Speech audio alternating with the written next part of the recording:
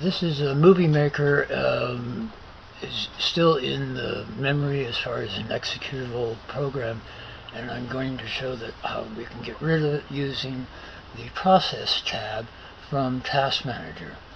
Here I'm just showing you that uh, this is uh, the command line showing you it was I was editing Orange Bubbly, um, a movie I'm working on.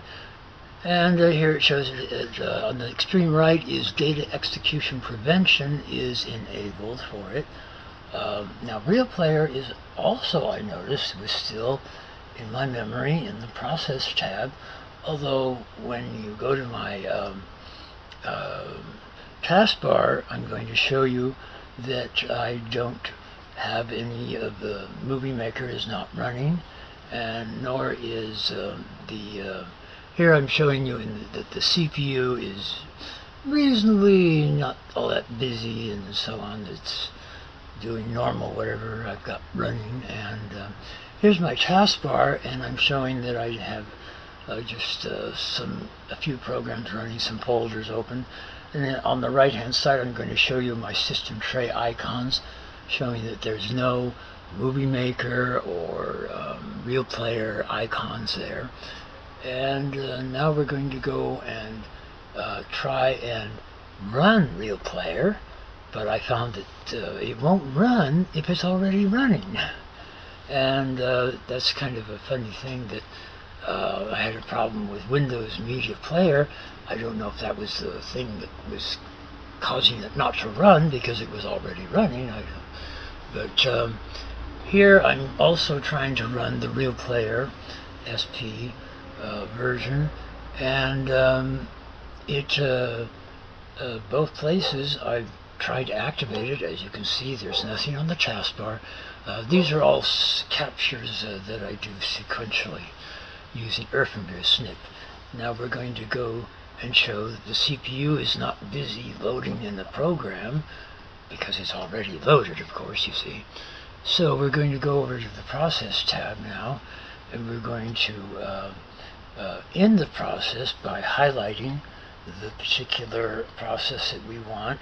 Now I'm using the tab key, not using the um, cursor, the uh, mouse and so on. And now I'm going to tab some more and then I'm going to highlight, activate the End Process, but uh, as, there it's highlighted, but uh, I should be able to hit the enter key, but uh, I'm not able to. I have to use the space bar in order to, uh, without using the mouse. Now here, the same thing is highlighted, um, but I can press the enter key on this one. And uh, I have um, double accentuated my um, outline. Uh, maybe I'll talk about that later. Anyway, now as we can see, Real Player is not in the um, Process tab. Uh, there's nothing crazy going on in my CPU because I did that End Process uh, you shouldn't end process just on anything and everything you feel like doing.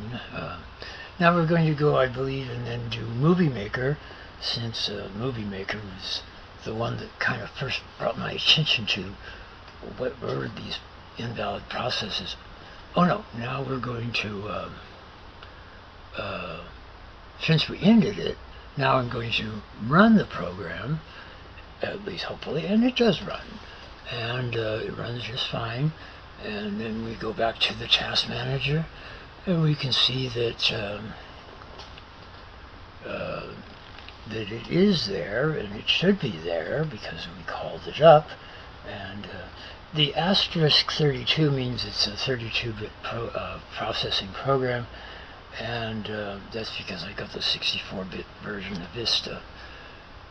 And uh, that's a, an interesting difference of, I didn't really, so here we have, uh, I'm going to close out the uh, real player by going to the uh, exit icon, um, close icon box in the right, top right, and there you see that it's, uh, it says, oh, you can almost barely get the exit in there, but it's reddish, and so it's been clicked, and it's going to go away, and then we're going to look at the process tab, and we see that uh, we see that we don't see any realplay.exe file in there um, listed.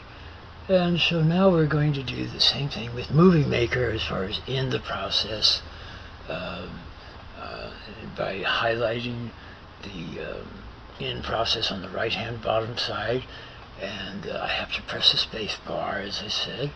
And uh, then when it brings me up the dialog box to say End Process uh, this one here I can press the enter key or the spacebar key uh, to end the process.